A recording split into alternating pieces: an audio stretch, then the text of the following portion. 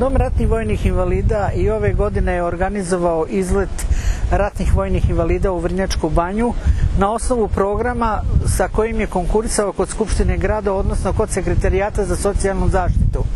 Program je odobren i sva sredstva dobijena po programu usmeravaju se na rekreaciju ratnih vojnih invalida, pa i jedan deo sredstava usmeren je i na ovaj današnji izlet.